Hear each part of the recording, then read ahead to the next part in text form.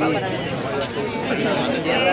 gobernador Omar Gutiérrez ha apostado firmemente a este canje que nos permitió, a través de la entrega de poder lograr que la U9 un lugar que, es emblemático, porque ha quedado en pleno centro de la ciudad de Neuquén, que fue el motor de la historia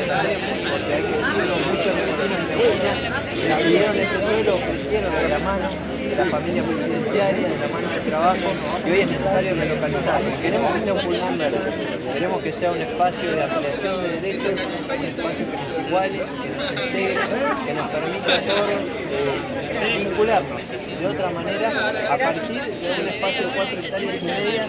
Y si ustedes se ponen a pensar cómo ha crecido la ciudad de es gran oportunidad de tener una columna vertebral de desarrollo ciudadano. ¿Qué tipo de obras se van a hacer? Bueno, aquí va a haber un parque, un parque que va a tener un sentido y un espíritu deportivo, recreativo, cultural, integrador, que va a rescatar la memoria.